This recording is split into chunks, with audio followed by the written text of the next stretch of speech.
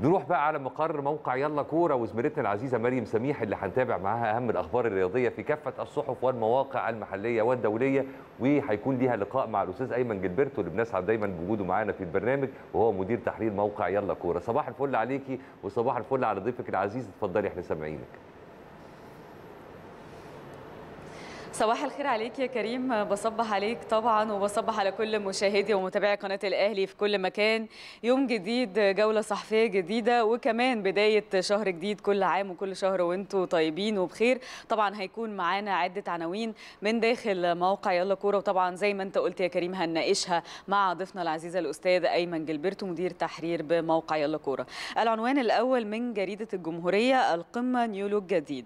ومن موقع يلا كورة ميسي أتمنى أن أصبح مدربا لبرشلونة الذي أحبه أريده الأفضل في العالم. ومن الرياضية سان جيرمان يجهز زيدان. وأخيرا من صحيفة الشرق الأوسط سولشاير يقدم ردا مثاليا على هزيمة ليفربول وجوارديولا غاضب من قرارات الحكام. طبعا هنتناقش في كل هذه العناوين مع ضيفنا العزيز زي ما قلنا الأستاذ أيمن جilberto نورنا دايما يا أيمن على شاشة قناة النادي الأهلي يعني سواء هنا أو في الاستوديو. طبعا البداية مع القمة يوم الجمعة إن شاء الله. قمة يعني ما بين الأهلي والزمالك. يمكن الجمهورية يعني عرضت خمس نقاط بتكون موجودة لأول مرة في القمة سواء وجود جماهير عودة الجماهير مرة أخرى. كمان تولي رابطة الأندية المحترفة لمسابقة الدوري الممتاز. يمكن دي أبرز الحاجات الحاجات كمان الملابس الجديدة. طبعا أهلا بقناة النادي الأهلي وطبعا الواحد بيتشرف إنه يبقى موجود معاكم في سواء هنا أو في في المقر القناة وبنصبح على كريم في الاستوديو. بالتأكيد مباراة القمة اللي جاية هي الكل منتظرها. كمان من الحاجات الجديدة إن المفترض إن هي هتقام في موعدها اللي هو في الجولة الثالثه مش في آخر البطولة زي ما كان معتاد في السنين الأخيرة. حتى الموسم الماضي يعني كان مفترض برضه تلعب في الجولة الرابعة لكن تم تأجيلها. الدور الثاني هو اللي اتلعب في ميعاده. فده برضه حاجة كويسة إن مباراة القمة تبقى موجودة في الجدول ايا كان موقعها وقت القرعة يعني. آه كمان الأهم طبعا أبرز حاجة هي عودة الجماهير. آه آه والتأكيد إن هيكون في ألف مشجع للنادي الأهلي و1000 مشجع لنادي آه الزمالك. آه طبعا الجولة الأولى والثانيه التجربة حتى الآن آه جيدة. شفنا جماهير للأهلي شفنا جماهير آه للزمالك. فالأمور واضح إن هي سهلة شوية. أكيد ألف تذكرة آه هتكون قليلة لجمهور الفريقين ولكن آه هنشوف مين اللي هيبقوا سعداء الحظ إن هم يحضروا أول قمة بعد فترة طويلة جدا من غياب الجماهير. ممكن ناس كتير ما تفتكرش إيه آخر ماتش أهلي وزمالك مثلا اتلعب بجمهور؟ طبعا النادي الأهلي بداية جيدة انتصارين كلين شيت أربع أهداف وهدف. نادي الزمالك نفس الأمر يعني تقريبا نفس ظروف الأهلي والزمالك هي ظروفهم واحدة في استقرار فني في الفريقين في النهاية الأرض الملعب هو هي اللي هتتكلم. نتمنى إن جانب التحكيم هو اللي يكون طبعا جيد لأن هو اللي بيبقى الشكل بتاع المباراة. لو التحكيم فيه مشاكل ممكن المباراة ما تبقاش بالشكل الجيد لكن نتمنى إن لجنة الحكام توصل لطاقم تحكيم مميز سواء كان مصري سواء حد طلب حكام أجانب. في النهاية نتمنى إن هي تكون مباراة جيدة للكرة المصرية ويعني بما إننا طبعا أهلاوية في قناة النادي الأهلي نتمنى التوفيق للنادي الأهلي يعني. إن شاء الله. ميسي يمكن في العنوان الثاني اللي معانا قال إن هو يعني أو قال أريده الأفضل في العالم طبعا متحدثا عن برشلونة. ده طبعا بعد رحيله في الميركاتو الصيفي الأخير. هل ممكن في يوم من الأيام فعلا نشوف ميسي يعني مدير فني للفريق؟ يمكن ميسي الفترة الأخيرة ناس شافت جوانب أخرى من شخصية ليونيل آه لأن طبعا آخر موسم كان فيه مشاكل تخص التعاقد معاه وكان طلع بتصريحات نارية وقت الإدارة السابقة لبرشلونة ووقت انتخابات حتى برشلونة كان ليه دور وغير الكلام الكتير عن فكرة سيطرة ميسي بشكل كامل. كان على أوضة اللبس في برشلونة. آه عكس في فترات سابقة الناس كانت بتشوف إن ميسي كشخصية هو راجل في حاله هادي جدا ما كلامه قليل مش شخصية اللي هي تنفع تبقى مسيطرة يعني.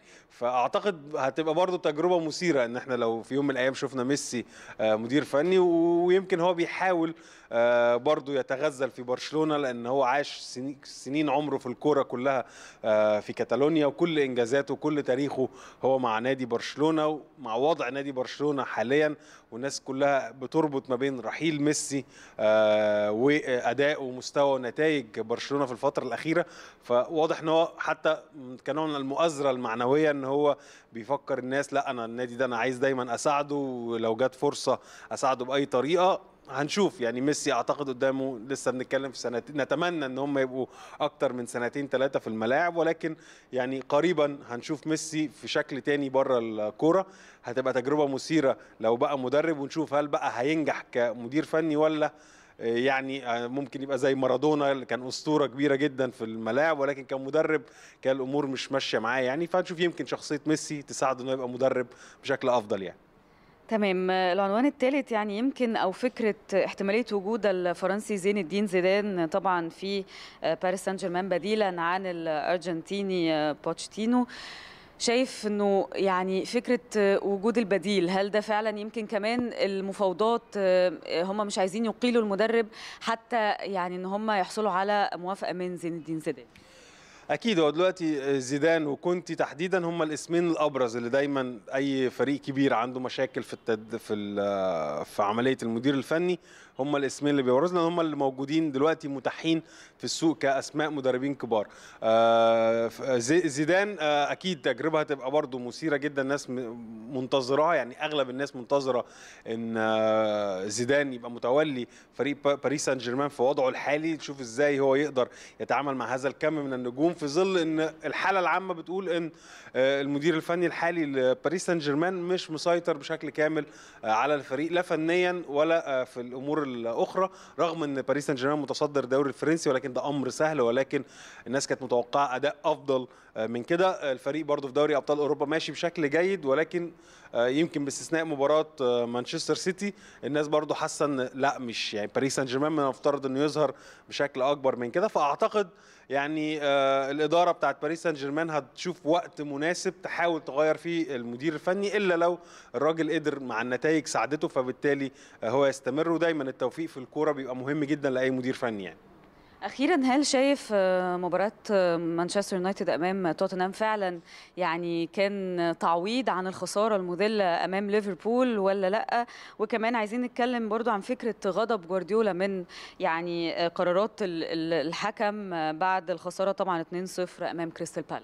آه يمكن آه يعني مانشستر يونايتد الموضوع لو بنتكلم في ليفربول لأ ما فيش حاجة هتعوض خسارة ليفربول ممكن حاجة معنوية إن هو يعني ما فضلوش في في النتائج السلبية وقدر إن هو يكسب وياخد ثلاث نقط يعني تفوقهم كفريق آه وشوية الجمهور يرتاح يعني. ولكن كتعويض خسارة ليفربول صعب لأن ده الغريم التقليدي لمانشستر يونايتد وخسارة في أولد ترافورد مسرح الأحلام 5-0 فطبعا الأمر كان صعب ومانشستر يونايتد من الفرق اللي هي عندها مشاكل تخص الإدارة الفنية والمدير الفني وارد جدا يحصل أي إقالة قريب. فيعني هنشوف لسه الأيام الجاية فيها إيه. بالنسبة طبعا كلوب طبيعي لما يبقى خسران في سباق شرس جدا في ال Premier League وبيلاقي تشيلسي بيفرق شوية وليفربول معاه يعني أكيد لما هيتكلم لازم برضه يبقى غاضب شوية على مستوى التحكيم يعني التحكيم دايما لما بيبقى في حاجة كده مع نتائج سلبية هو اللي بيشيل الليلة فدايما بنتكلم إن أهم حاجة إن دايما التحكيم يبقى حاجة كويسة عشان خاطر يساعد المدربين ويساعد الفرق إن هي تقدم أفضل ما عندها ما يبقاش حد عنده حجة اللي يخسر يخسر وما يقولش تحكيم يعني. ايمن جilberto دايما بتنورنا وتشرفنا على شاشة قناة النادي الأهلي. بشكرك جدا نورتنا وشرفتنا. ده طبعا كان حوارنا وتحليلاتنا لكل العناوين الصادرة صباح اليوم الاثنين من داخل موقع يلا كورة. بشكرك جدا يا كريم. الكلمة ليك مرة أخرى. كل الشكر ليكي زميلتنا العزيزة مريم سميح وتحياتنا للاستاذ أيمن جلبرتو جلبرتو شكرا جزيلا على هذه التغطية الصحفية المتميزة.